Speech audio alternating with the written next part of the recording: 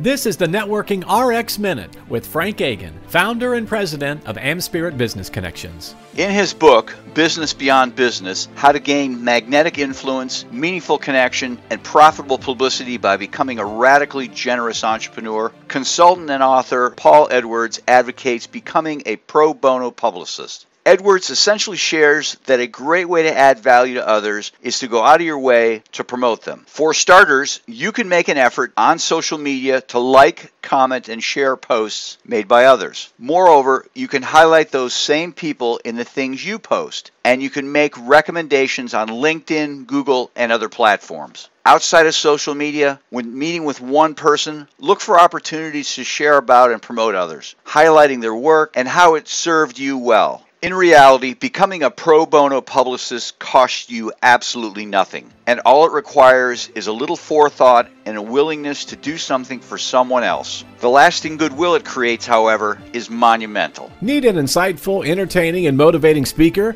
keynote, trainer, or presenter? Let's talk! Contact Frank Agin via frankagin.com. F R A N K A G I N.com. Thanks.